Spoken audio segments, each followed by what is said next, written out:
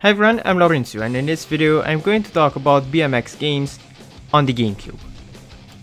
Dave Mirra Freestyle BMX 2 is the Tony Hawk correspondent of BMX games. The game has a similar structure. You free roam, get challenges on the map and do countless of tricks. You can't create your own character, but you can choose from 14 different BMX pros, which you can upgrade later with unlockable stat points. The game has 10 huge maps, filled with ramps and gap spots, but unfortunately because the maps are so big, the level design is sometimes lacking. Meaning that from time to time it's hard to find a place on the map where you can do some sick combos.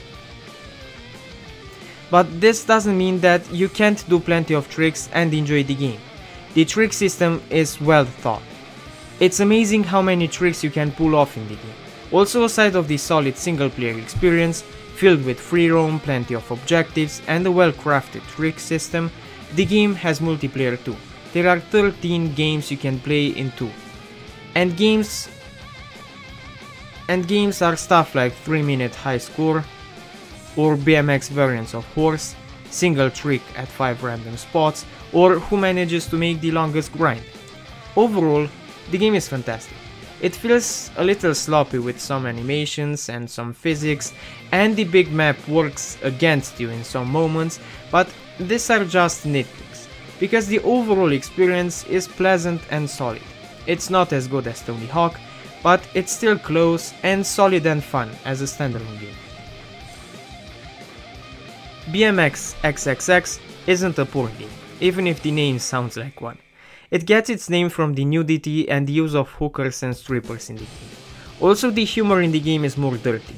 It's not of high quality like dirty humor in general and it feels generic. But in rest the game is the standard Dave Mirra BMX game. The same guys behind Dave Mirra made this game too. And in gameplay and structure it's the same.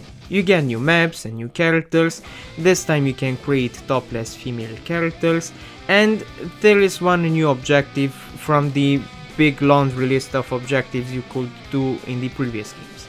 Now there are objectives where you need to pick up an object and get it somewhere on the map. But in Rust, the gameplay is the same as before.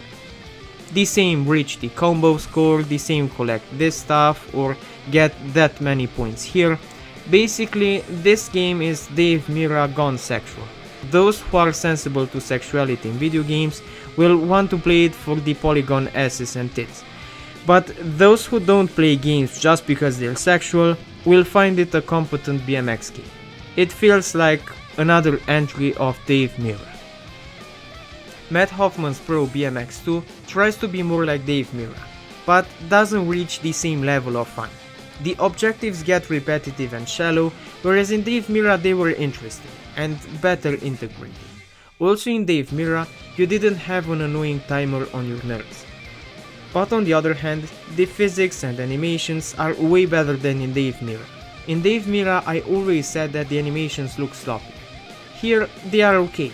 Falling from a bike or landing tricks look much better in Mat Hoffman than in Dave Mirra.